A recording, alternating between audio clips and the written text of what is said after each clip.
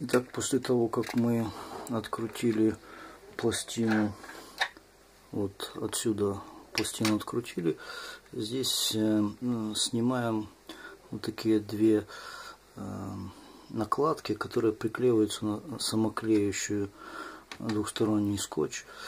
И нужно открутить вот э, два винта с одной стороны, два с другой верхних. И тогда вот крышка, которая здесь может открутиться, можем ее снять. Получается, вот этот уже снимается, ну, это не обязательно. Смотрите, какая ситуация, что можно увидеть. Э, если хорошо видно, то вот здесь вот плата, а, она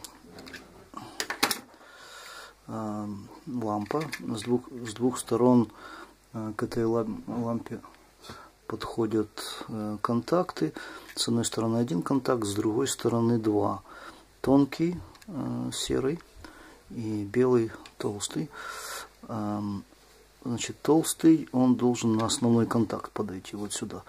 И видно, что плата э, в связи с весом, который имеет и детали натяжением проводов, э, отломалась. Э, необходимо припаять. И, скорее всего, вспышка будет исправлена. Сейчас этот вопрос решу. Припаивать нужно большим паяльником. Есть у меня паяльник на 60, наверное, ватт. 40, 40 ваттный. 40 ваттный э, паяльник. Думаю, что его будет достаточно для того, чтобы разогреть. Э, если будет плохо припаяться, сначала пастой э, паяльной. И когда пропаяю, смогу уже теперь потом показать, решился ли вопрос или нет. Продолжение ремонта вспышки таки пришлось купить э, новую лампу. Продавец сказал, что это оригинальная лампа от Никона. Э, э, стоит всего 160 гривен. По сути дела, ну, это около 5 долларов, э, плюс-минус, может быть, пять с половиной, эм, так и не удалось мне припаять э, к выводу, эм, видимо, он какой-то вольфрамовый, и даже обтачивал стекло, так и не удалось. Э, до тех пор, пока не разбил лампу, ничего не получилось сделать.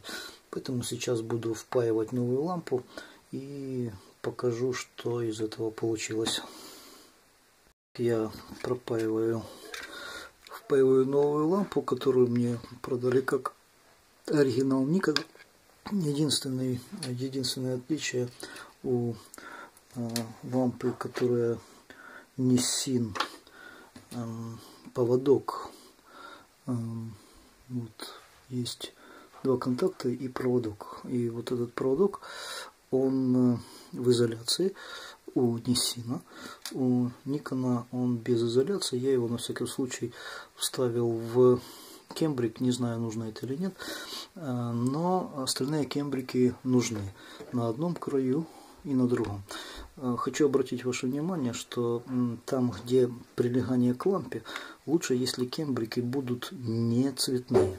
Это должен быть или белый, или серый, или черный кембрик. Ну вот я так черными кембриками все сделал. Теперь буду заводить лампу в окно, которое здесь и есть, и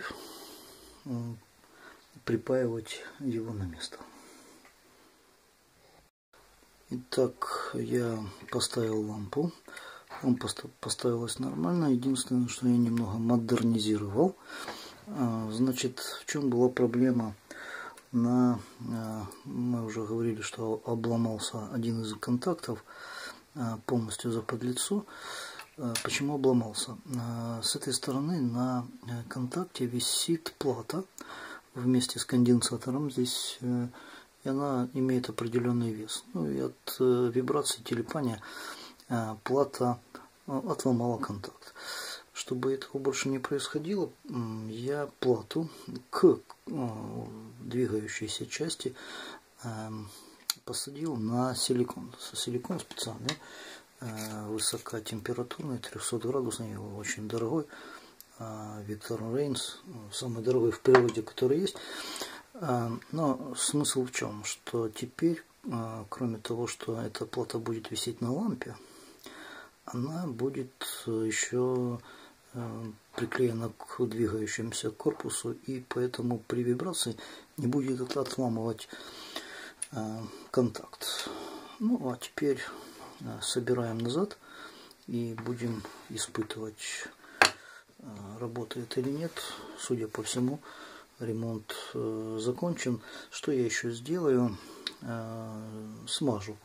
Значит, здесь есть двигающиеся части. Смазки мало.